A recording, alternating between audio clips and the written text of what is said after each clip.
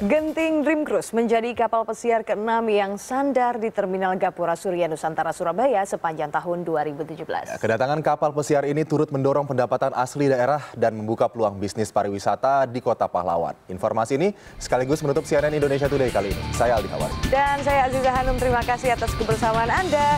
Selamat pagi dan sampai jumpa.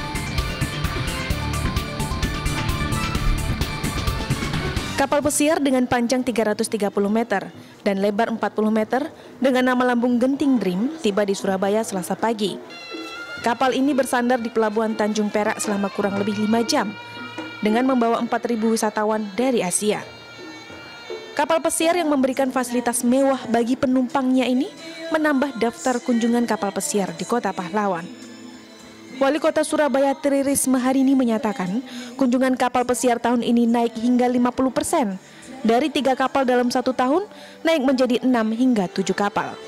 Peningkatan jumlah kunjungan ini diklaim turut mendongkrak pendapatan asli daerah melalui sektor pariwisata hingga 100 persen. Saya masuk pendapatan pajak hotel restoran kurang lebih eh, sampai 200 M. Tapi saat ini sudah hampir satu triliun untuk baca hotel restoran. Jadi dua-duanya, dua-duanya melengkapi 900 sekian. Nah, uh, memang ini peningkatannya luar biasa. Satu tahun itu naiknya hampir 50 persen. Uh, apa namanya? Dulu biasa rata-rata satu tahun hanya sekitar 10 persen.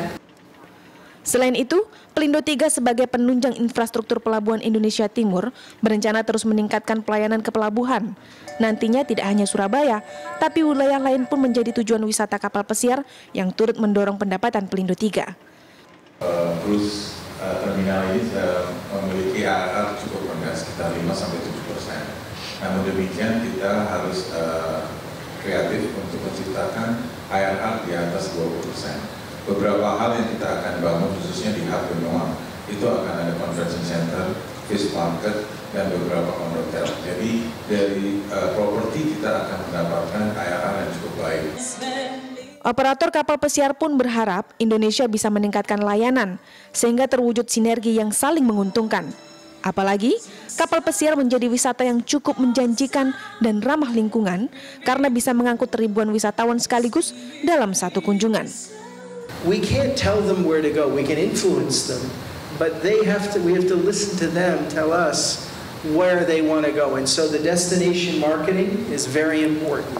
The way that they get off, every each individual, they'll go tell a friend, I had the best time in Surabaya.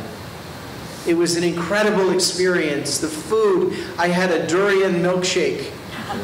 durian. Durian milkshake. You know, I had a durian milkshake last night that was heaven. and I called my wife. I said, honey, I don't know. It smells, it smells so bad, but it tastes so good. Usai bersandar di Surabaya, kapal pesiar dengan bobot 151 ribu ton dengan 18 dek ini akan melanjutkan perjalanan ke Bali Utara dan berakhir di Singapura. Eka Rima, Surabaya.